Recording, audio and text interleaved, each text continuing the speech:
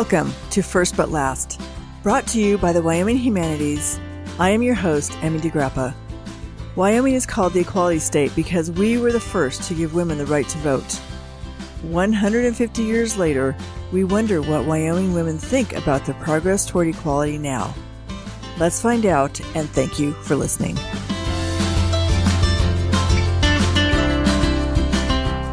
In this episode of First But Last, I want you to meet Sara Burlingame. She represents Wyoming House District 44 in the Wyoming legislature. She is also executive director of Wyoming Equality. Sara is passionate about politics and community activism. Welcome, Sara. Thanks for having me. Sara, I love your name, Burlingame. Yeah. Does it have particular meaning to it? It's a very different name. It is, yeah. So all Burlingames are related. There was only one shipment of us, and I'm I'm very proud to be a descendant of Anson Burlingame, who was in the legislature during the Civil War. As far as I know, he's the only other Burlingame who's been elected uh, to public office.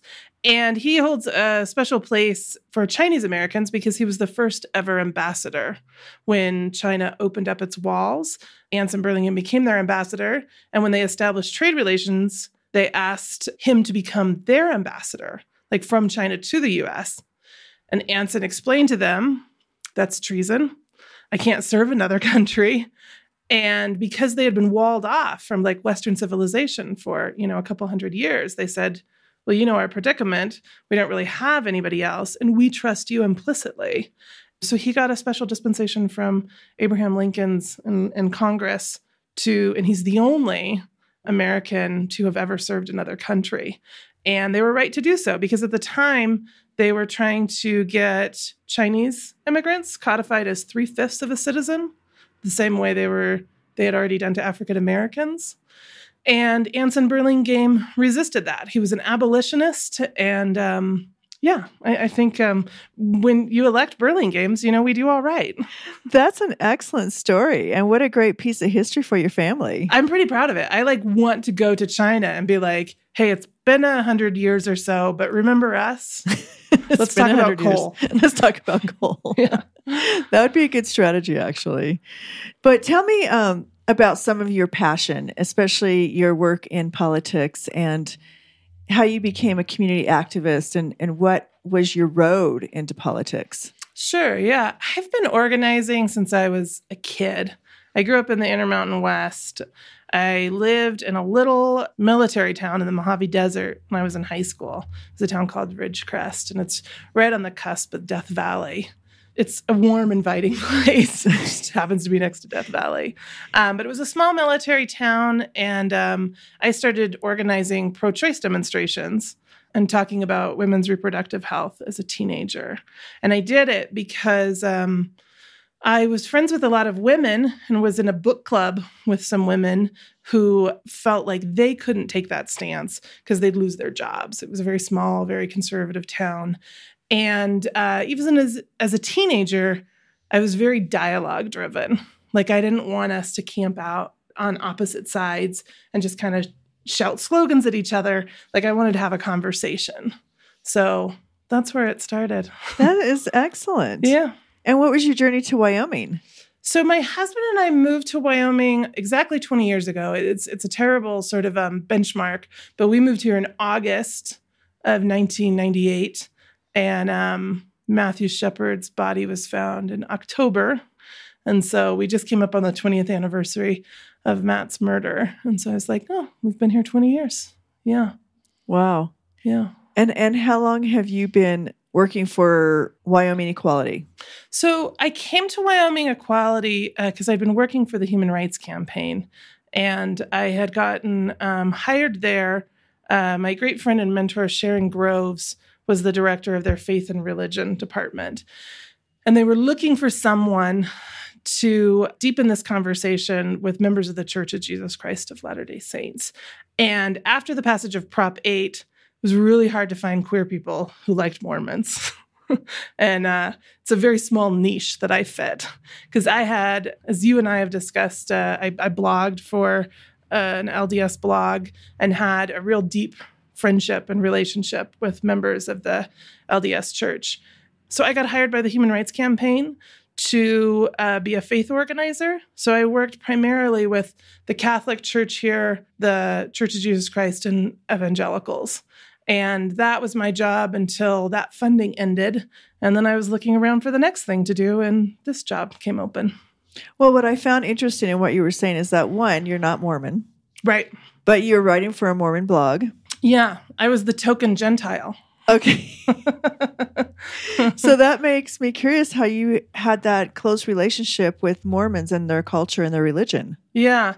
I um subscribed to a magazine. It was called Bust Magazine and it was a third wave feminist magazine.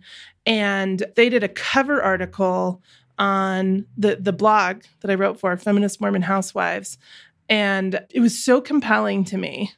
Like feminist Mormon housewives, what? You know, like and like a lot of people, I think I thought, oh, that's really oxymoronic. Like maybe I'll go on there and I'll tell them, like, ladies, you're doing it all wrong.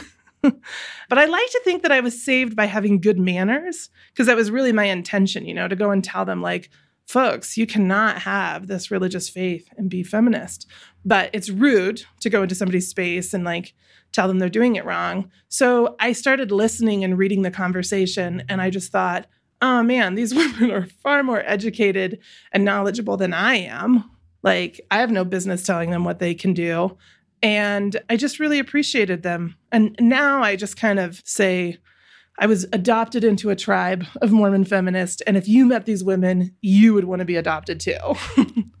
And what does it mean to be a Mormon feminist? Because I, I think that's really interesting. yeah, I think for me, it was about taking feminism out of a very dry, very academic context, right? About this abstraction of feminist, which it felt like it doesn't feel that way now, but 10 years ago, it felt like we were maybe trapped there a little bit.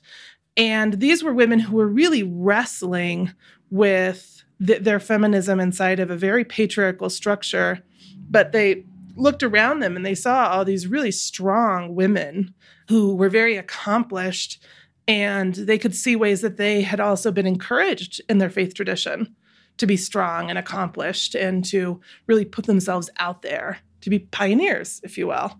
And that sometimes these things were in tension you know rubbed up against each other and caused friction. But other times they weren't and they just wanted to have a deeper conversation about that with like-minded people and um, i feel really lucky that they invited me in And so they called themselves feminists and they still practice their Mormon religion. yeah And the church didn't reject that at all. Well, one of my good close friends, uh, Kate Kelly, she started a group called Ordained Women. And Ordained Women was asking the church, is now the time for women in the church to have the priesthood? And Kate was very publicly excommunicated. And that really um, cauterized sort of the hope and the growth and the momentum that people were feeling like, oh, in this moment, we're really starting to listen to each other. The church is really starting to get beyond this conversation around, you know, o- obedience and sort of top-down hierarchy. And that was deeply painful, really, really painful. So no, I couldn't say across the board that uh, it, it was all just accepted.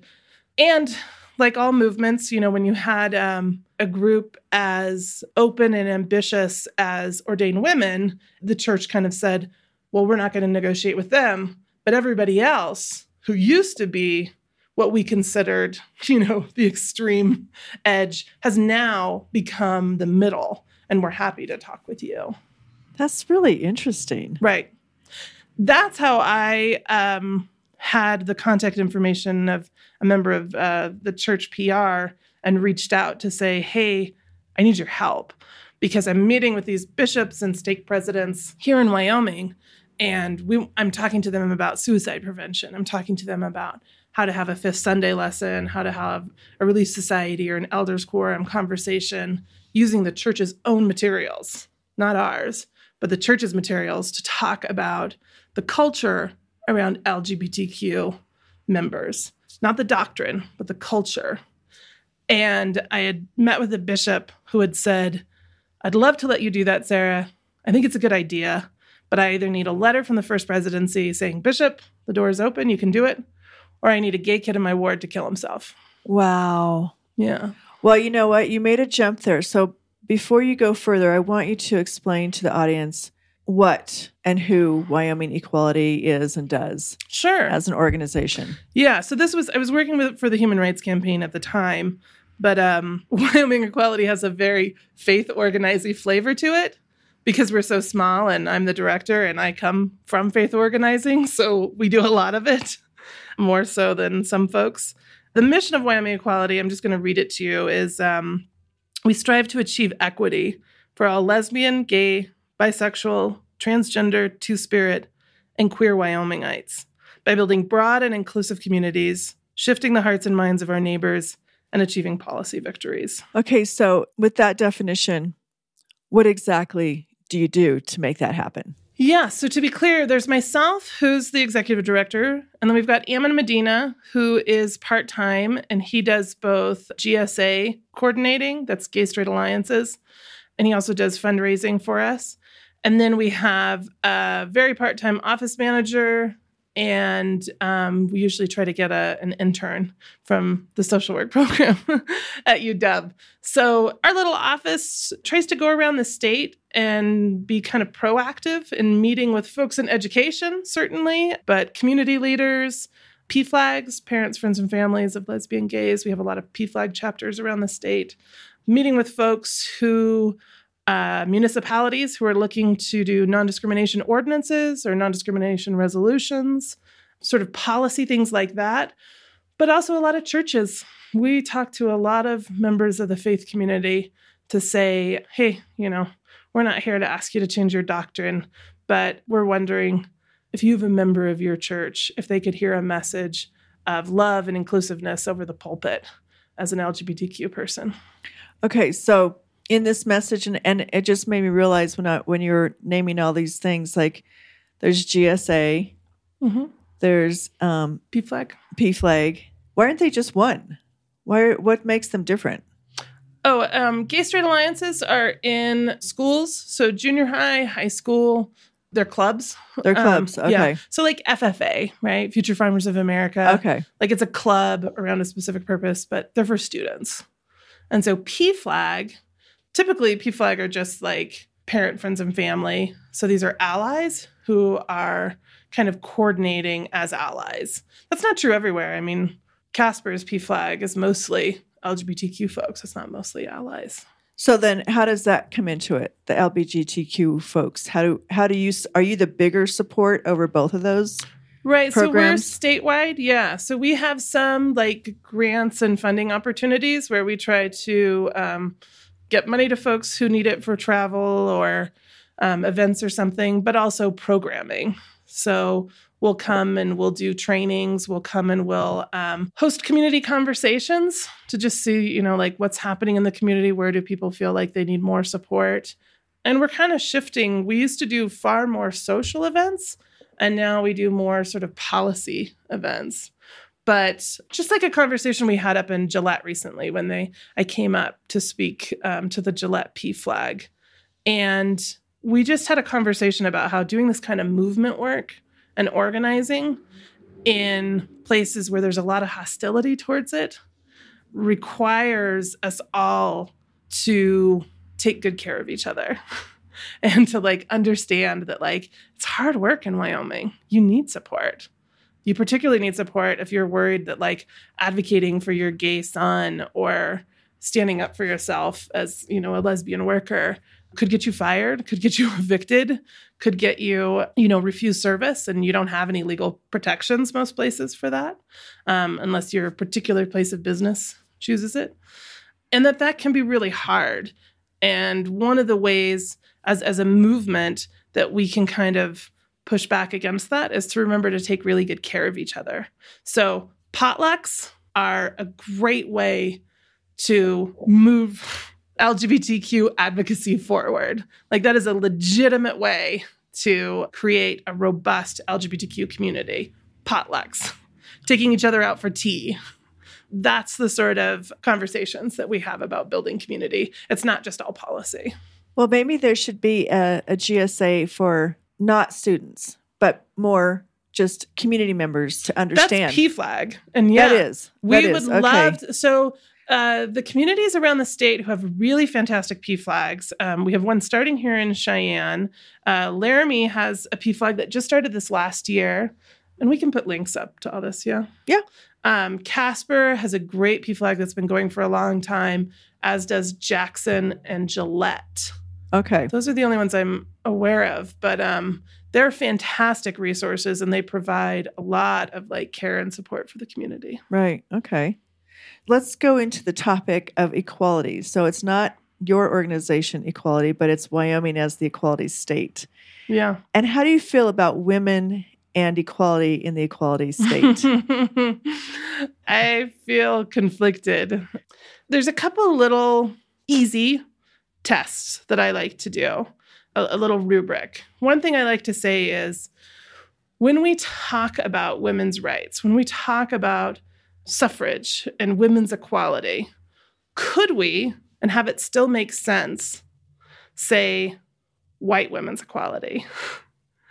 And would it be more accurate to name it as white women's equality? Or do we actually mean women? When we say women got the right to vote, what we actually mean is white women got the right to vote, right? Correct. Because non white women, even though in law it just said women, we know that it was understood to be white women. And we know that because there was um, what's called a, a poison amendment meant to kill the bill the same day it passed. And it was a legislator also out of South Pass who said that um, you know suffrage would apply to the colored woman and the squaw. Sorry for the, and that amendment failed, and there was never any intention for suffrage to be inclusive of races outside of the white race. And some of the ways in which suffrage was that, that we attempted to pass it was by calling on explicitly racist language, right? By saying, like, after the passage of the 14th Amendment, we needed to give white women the right to vote in order to codify white supremacy. So I feel very conflicted, right? Because on the one hand, I want to absolutely celebrate that Wyoming passed suffrage. But I also want to complicate that history with the reality that we did not give all women the right to vote. And the resolution that we passed that Senator Ellis um, sponsored and spearheaded, that had uh, every female member of the House and Senate as, as co sponsors on, I thought did a really fantastic job of changing the conversation about suffrage. Whereas in the past, we have said women were granted the right to vote, women received the right to vote. And what the resolution kind of restates for people is that the inalienable right to vote was recognized by Wyoming. And that's an important distinction. Well, and that's something to commemorate, actually. That language right there is that you just said it. Well, right. And Representative uh, Andi Clifford put a really important amendment into that resolution because it called attention to the fact that there was racism in how it was carried out and how it was conceptualized, right? It, it was a great amendment to it to be a placeholder so that people don't kind of whitewash our history. Well, that's a whole nother complicated subject, Sara. It is a really complicated subject, but I think it's one that you know we should all be having. Another thing we do at Wyoming Equality that uh, I think is kind of great. Um, uh, board member Shayna Lona Aya Alexander and I came up with this. We call it the um, the jackalope test. Have you heard of the the Bechdel test? No. So the Bechdel test is if you're watching a movie, it has to pass two characteristics. Are there more than one woman, and do they talk to each other about something other than a man? And oh like my gosh. ninety percent of all movies fail the Bechdel test, and you don't realize it right until you look for it. Oh my gosh. No. Okay. Now Yeah. I'm going to really look for it. So in the jackalope test, we just say in any given meeting or board or organization, could it innocently be mistaken for a white supremacy gathering? Wow. Is it 100% white? Is anyone else represented there? That's what we call the jackalope test. Oh my gosh. That's And- really interesting. for our own organization, right? Like sometimes we'll look at like, hey, we're going to put together this committee to talk about this certain thing. And we look at it and we go, huh, this could innocently be mistaken for a, uh, a white supremacy meeting because it is only white people. Or if we're having a conversation, or frequently like we're called on to say, hey, we want someone to come and talk to us about like healthcare and transgender people. But they'll ask us, like me, a cisgender person, and we'll say, like, well, I- I'm not the best person to ask about that. Like, I'm going to find a couple of people from our boards or our committees who are transgender and who have first, you know, hand experience with that, and we're going to ask them to speak to it. So that's another thing that Wyoming Equality does is just try to change that sort of polity. Mm-hmm, mm-hmm. Well, and I think you made some good points there, and I think that diversity and inclusion in any group in Wyoming has to be very intentional, and I think people just call the people they know and you know let's all get together and have this meeting when actually they're not being intentional about making sure that many voices are represented of diverse you know backgrounds and That's right. cultures and Or we swing to the other side, which is just tokenism, right? right Like, oh, we need to have a gay person. We need to have a black person. Right. And so we're really trying to change that and deepen that conversation around, oh no, it's not that you need to check a box. It's not that you need like a token anybody. Rather, we want to represent the people we serve. We want the people to look and say, oh, hey, in these decision making seats of power, there's somebody who looks like me. There's somebody who has shared an experience like mine. And that's really valuable. So, my last question is Sara, if you could wave your magic wand, Mm. what would you like to see happen in Wyoming for the future of gays and lesbians and just diversity in general? Well, I'm glad you like narrowed it down because I was like, oh man, my magic wand. Like, my magic wand wants a lot of things. I think it's pretty simple. I just want hearts opened. Like, part of our advocacy and part of my personal advocacy is that at the end of the day, we can absolutely disagree and we can absolutely love each other and we can have respect for each other. There's this great James Baldwin quote where he says, unless our disagreement is rooted in my oppression and dehumanization, you know, that there there is a boundary there. But if I had a magic wand, it would absolutely be that um, LGBTQ Wyomingites were really considered as full humans, as full citizens, and that people kept an open heart and thought, um, if this were me, if this were somebody that I loved, you know, how would I want them treated? How would I want their rights protected? How would I want them to feel welcomed in to this community, you know, that we call Wyoming? Right. Which is a community, even though it's a huge state, but our population's so small. We're we're really a community. We are. That's true. That's Thank the you so community that we love. Absolutely. Thank you for being here. Thanks so much for coming. And, we, and I'm glad you got to see downtown Cheyenne. Yay! Thank you for listening to First But Last, brought to you by the Wyoming Humanities. Please join us again next week as we continue our conversations with women from around the state. You can also find us at thinkwy.org, where we continue the conversation on our blog about the history, journey, and the challenges of Wyoming's intrepid women living in the equality state. And if you enjoyed this episode, please subscribe to the show and leave us a review on iTunes. Thank you for listening.